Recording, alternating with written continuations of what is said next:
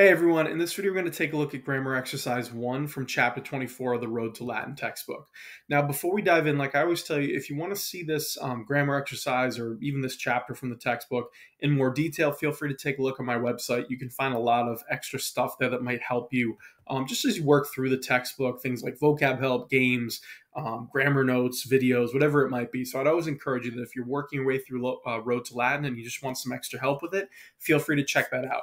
Now, before we dive into it, um, every time we do a grammar exercise video, I always say there's a couple things you want to have done before you watch the explanation. So the first thing that you want to make sure that you've done is you've worked your way through the entire chapter. So you started with vocab, so you know what all the words mean, you feel comfortable with it. You've read through the grammar notes, that's really important. So use the Road to Latin textbook um, to get the grammar explanation. If you want more help, again, I've written out my notes on my website along with some videos to help you um, understand what's going on, right? Chapter 24 is still talking about third declension nouns. So there's a lot of stuff that will help you out. But one way or another, make sure you've got the vocab, make sure you have the grammar. And to practice the grammar before you even do the grammar exercises, it's always a good bet to read the story. So the story is set up so that you can see the grammar in context. And by reading and understanding the story, you are working your way through the grammar. So I'd always recommend that you do that first and then use these grammar exercises just as sort of a, a last check to make sure that you're on the right track. Um, I would say when, when you're learning Latin, I always tell my students we're not learning Latin to do grammar exercises and just read random sentences. Um, that's not really what we're about. We're more about reading stories, right, and understanding the language. So this should kind of be the last thing you do, just as a double check or triple check to make sure that you feel really good about the grammar before you move on from the chapter. But if you can get through this grammar exercise and it all makes sense, and then you check your answers against mine, you're feeling really good about it, that's always a sign that you're probably ready to move on um, you can kind of work your way into the next chapter. Okay. And if you want more help, I always say um, Road to Latin does usually maybe uh, one or two grammar exercises. If you want to work on your translations, Magistrula is always the best. Um, you can always find a lot of practice there and just keep doing as many um, grammar exercises as you want until you feel really, really comfortable, right? Sentences to translate. And if you want, again, you can find on my website um, a section where I've made them for you so you don't have to do anything. Just click the link and it'll open up um, Magistrula sentences for you to translate so you can work on this. Okay. All that is a way to say that you want to do the prep work before we dive in. Um, but hopefully, if you haven't done that, right, uh, pause the video, go back and do it. But hopefully, if you're, uh, you know, moving forward the rest of the video, you've already done all that and you can double check your answers um, against mine to see how you did. Okay. So grammar exercise one starts like this. Um, part one is just saying decline the Latin expressions for the following. So all of these words you have are phrases rather. You have famous consul, good mother, great commander, weary legion, happy person, and old custom.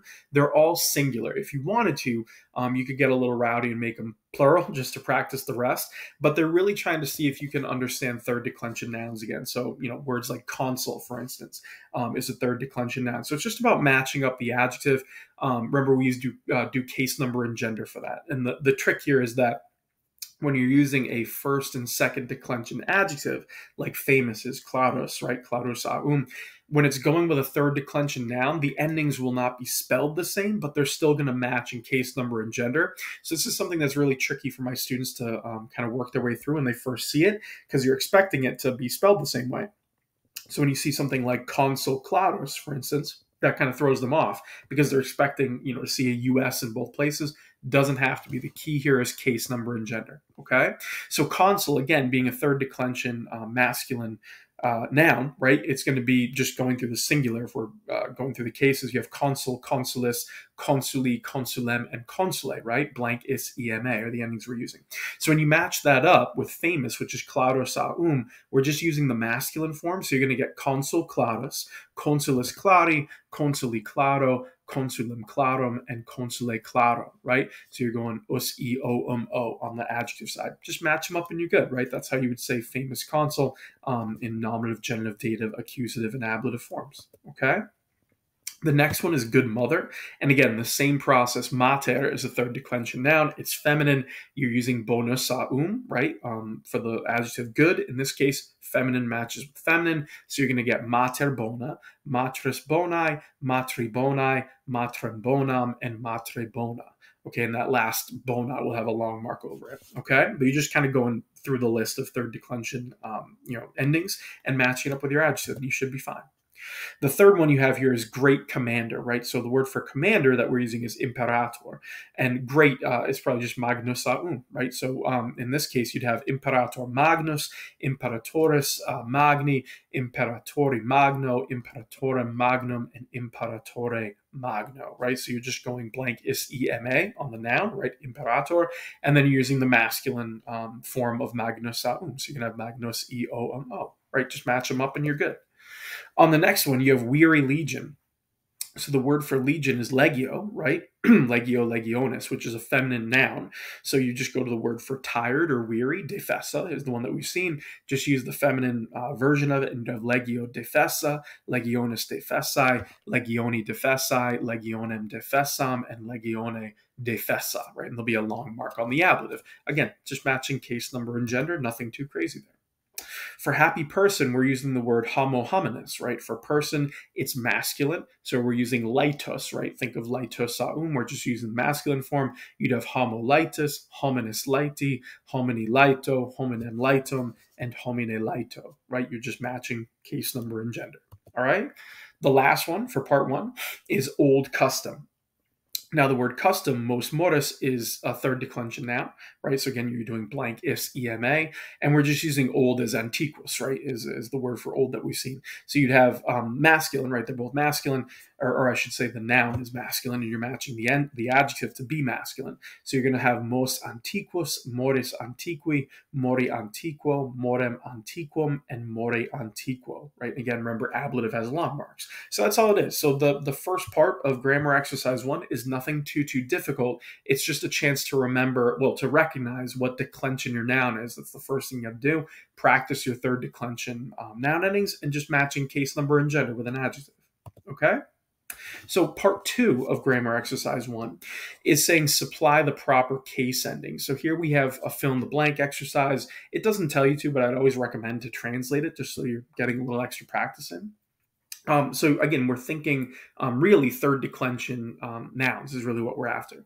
So number one, we have pax homin blank est cara, right? So peace is pax. You're saying peace is dear, right? Uh, pax est cara. And remember, dear is going to go with a dative because it's dear to someone, right? Now, in this case, we put ibus um, just because it kind of makes more sense to me, right? Pax hominibus. So this would say peace is dear to men. Um, it would be kind of weird to say peace is dear to the man, although I guess that kind of makes sense. So whatever world you want to live in, you can either make it mass, um, sorry, singular or plural, but it needs to be dative. Remember, kata is one of those special adjectives um, that takes a dative. In this case, I just made it plural. Thought it sounded more interesting, but you do whatever you want. As long as you have a dative ending on it, you'll be fine. Okay? And number two, we have Aestat blank, bellum a milit blank gerebatur.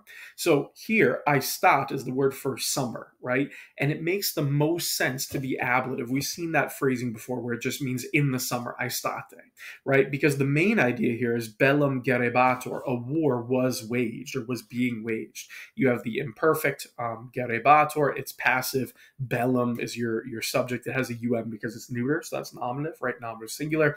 Um, it wouldn't make sense to say the summer was waging something or summer was waging a war. Um, none of that would make sense. So aestate is your answer, right? For in the summer.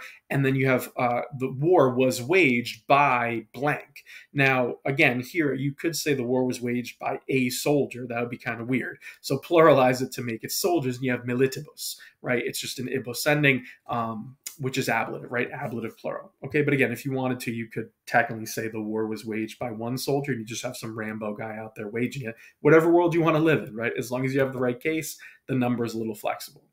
For number three, you have hiems multitudin blank non delectat, right? So hiems is um, winter, right? So the winter does not delight non delectat, right? That's your main phrase here. And then you have the word for uh, crowd, right? Multitude in blank. Now, it makes the most sense here because we already have a subject to say the winter does not delight the, mul- the multitude or the crowd. So it's going to be accusative. Um, singular would be multitudinem, right? So winter doesn't delight the masses, right? People don't like the wintertime. Sure. Okay. For number four, you have clamor blank, victor blank, erant magni. So something was great is kind of the idea, or some things, plural, were great. It's erant magni. So we're looking for a plural subject. So we have two words. You have um, shouts, right? Clamor blank, and you have the word for victor, right? You have victor blank. Um, so here, when you kind of piece it together, the thing that's going to make the most sense is to say the shouts were great, clamores, right? The shouts of the victors. So clamores victorum um, is how you would say the shouts of the victors were great. That makes more sense than saying the victors were great, right? That doesn't really uh, add up. So once you know that shouts is probably your subject, the only thing that will really make sense for the word victor is to make it genitive plural. The shouts of the victors were great, right? Kind of gives you an image of soldiers shouting because they won a battle. All right, and the last one we have here is number five. So you have milit blank, decimi legion blank, sunt caesar blank, cari. Okay, so we have something about um, something is dear. And again, when you have that adjective cari, you're looking for a dative. So off the bat, you can kind of see that uh, Caesar, Caesar, is probably the dative, right? Something is, or, or some things rather, were or are dear to Caesar. So when you do that, you get Caesari, right? Dear to Caesar. But let's step back a little bit, okay? Because we have to find out what was dear to Caesar. And so we have two kind of things here. You have um, right, the word for soldier, and then you have something about tenth, decimi. Now this is going to go with um, the word legion because the tenth legion we've kind of seen as we're working through. It's just numbering of the of the legion there, and decimi would be um, genitive singular in this example. So when you put that together, you can kind of guess the soldiers is your subject, milites, right? So if you have soldiers as your starting part, uh, starting point, the soldier soldiers are dear to Caesar. Already, this sentence is kind of making sense. What you can do with um, uh, Decima Legion is make it Legionis, right? The 10th legion of the 10th legion because it'll be genitive. And again, the way I know that is you wouldn't say the 10th soldiers are dear. So Decimi has to be going with legion.